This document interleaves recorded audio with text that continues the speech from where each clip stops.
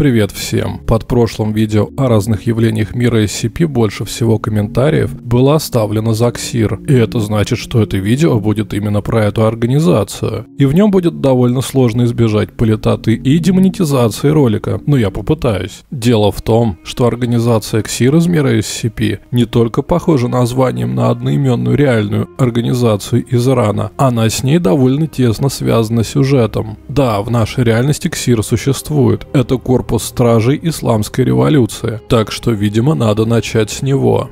В 60-е годы Иран был относительно светской страной, которая внезапно развивалась по вполне себе западному пути. В этом государстве был довольно быстрый экономический рост и достаточно свободная жизнь. Однако, как это бывает, что-то пошло не так. В детали вдаваться не буду. В самом общем плане, шах, который правил этим государством, захотел больше власти, для чего он запретил все политические партии, кроме одной, которая была лично за него, и начал давить всю оппозицию в стране. Среди оппозиционеров революционеров оказались не только люди, которые хотели просто жить в нормальной стране, но и влиятельные религиозные лидеры, которых Шах тоже начал давить, так же, как и всех других, назвав это дело белой революцией. В итоге революция получилась, но не у Шаха и совсем не белая. Исламский богослов Рухалла Хамини реформ не оценил и сверг и Шаха, и вообще всех людей, которые были ему лояльны. Он основал новое государство – Исламская республика Иран, которое существует и по сей день. И как раз для охраны нового государства государства была создана полувоенная полуполитическая организация под названием КСИР. Организация, мягко сказать, спорная и в некоторых странах запрещенная, но не в России. У нас с такими ребятами дружить любят, так что ладно. В мире SCP ее появление показано несколько иначе. КСИР существовал задолго до революции. Как организация он появился сразу после Второй мировой войны и занимался сбором и изучением различных реликвий, которые находил на Ближнем Востоке, аномальных и не очень. Во время событий, в ходе которых Хамини взял власть, люди из Ксир вышли с ним на контакт и, показав несколько могущественных предметов, договорились, что при новой власти они станут официальной организацией. Став таковой, они несколько изменили род своей деятельности, заявив, что теперь их основной целью станет защита государства Иран, то есть так же, как и отдел ПГРУ и ОНП ФБР, еще одна реальная спецслужба, существующая в мире SCP. И, надо сказать, очень сильно связанная с настоящей настоящей организации. В ее документах упоминается очень много реальных людей. Также используется характерная для реального революционного Ирана терминология. Например, руководителем КСИР является Паравиз Джафари. Такой человек не только существовал в реальности, но и известен тем, что утверждает, что видел НЛО. Джафари утверждает, что летя на своем F4 в 1976 году, он обнаружил объект, который было невозможно опознать. Он попытался вступить с ним в бой, но все оборудование отказало, а сам объект перемещался так, как не может ни один известный человечеству летательный аппарат. историю поддержали власти Ирана, заявив о том, что кроме паровиза объект видели многие, в том числе и местные жители. Так что человек среди любителей всего летающего неопознанного довольно известный. В мире SCP после этого случая с ним связался Ксир, и через какое-то время он стал там руководителем.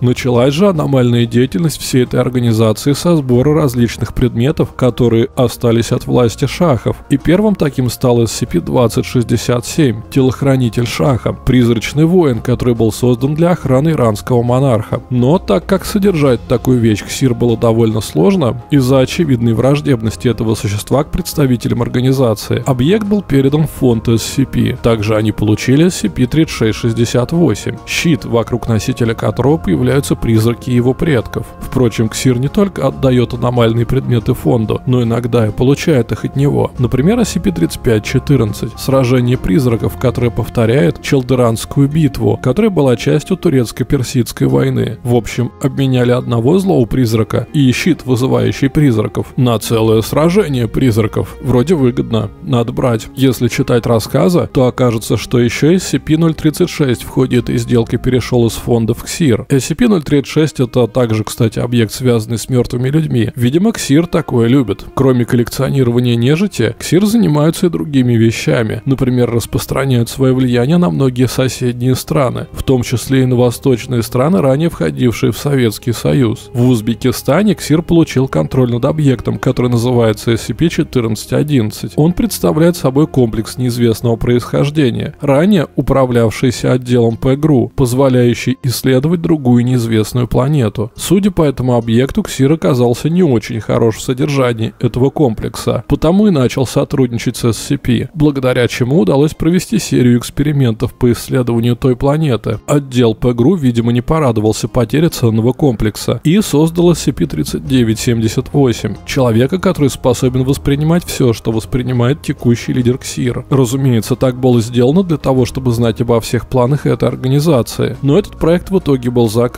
а сам объект достался фонду. Так что SCP, выходит, знает все, что планирует и делает КСИР. А КСИР в это время занимается поиском аномалий в других арабских странах. Например, в Кувейте был найден SCP-2688, зиккурат, вокруг которого живут крайне странные люди, а внутри происходит различная потусторонняя дичь, и который, судя по всему, был храмом древних механитов. Оперативно узнав о такой находке, фонд SCP отобрал у КСИР этот объект насильно, благодаря чему впоследствии нашел еще немало предметов, которые остались от битв древних последователей культа Механ, саркицистов и прочих ребят, которые существовали в древности в мире SCP. Ксир, впрочем, в долгу не остался, и через свое влияние на правительство Туркмении получил в свое распоряжение изначально найденный фондом SCP-3150. SCP-3150 это отдельно небольшой мир, который выглядит как старинное персидское здание, вход в которое время от времени материализуется в пустыне Каракумы. Человек, находящийся в нем, может получить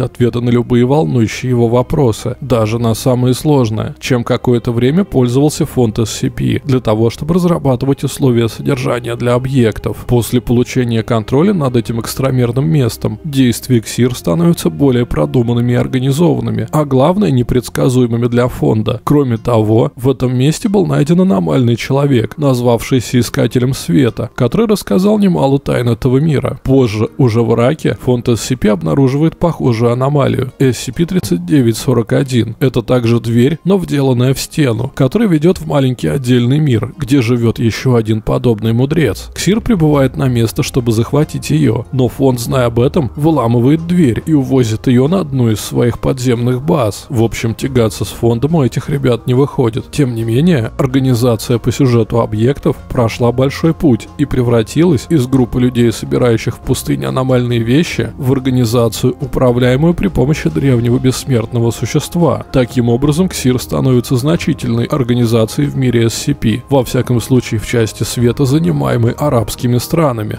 Это то, что мы узнаем из объектов. Но, конечно же, есть еще и рассказы. В них мы видим, что у Ксир есть свой собственный формат объектов, которые пересекаются с SCP. Например, проект 4533 — это SCP-076 Авель, некоторые же нет. Из этих текстов видно, что все аномальные явления, которые встречает Ксир, воспринимаются именно как проекты, которые должны привести к какому-то полезному результату, чаще всего связанному с тем, чтобы как-то использовать их на благо арабского мира. Так или иначе, все найденное должно приносить пользу. Впрочем, не все проекты работают с аномалиями. Например, проект ОПЕКа. Он представляет собой проект по ловле и допросу представителей разных других организаций мира SCP. Кроме обычных аномалий, КСИР имеет дело еще и с джинами, разумными миметическими существами, распространенными в арабском мире, которые способны существовать как в информационной среде, так и вселяться в людей. Некоторые из них способны иметь даже собственные видимые тела. Несмотря на свою религиозность, КСИР Ксир сотрудничает с ними. Впрочем, по сути, исламу это не противоречит, потому что, согласно Корану, Аллах создал ангелов, людей и джинов. При этом джины также были наделены возможностью выбирать между добром и злом, так что общение с джинами исламом в принципе не считается как что-то плохое. По лору Ксир из вселенной SCP, джины еще в средние века основывали свои тайные общества, которые назывались домами. Чаще всего в документах Ксир упоминается дом джинов, а в Санях, хотя есть и многие другие. Ксир старается поддерживать связи со всеми из них, всячески склоняя джинов на свою сторону. С домами джинов эта организация была связана с самого момента своего основания. С другой стороны, сами джины, понимая, что люди в целом настроены к ним довольно плохо, охотно идут на контакт с агентами КСИР, надеясь, что те помогут им выжить в современном мире.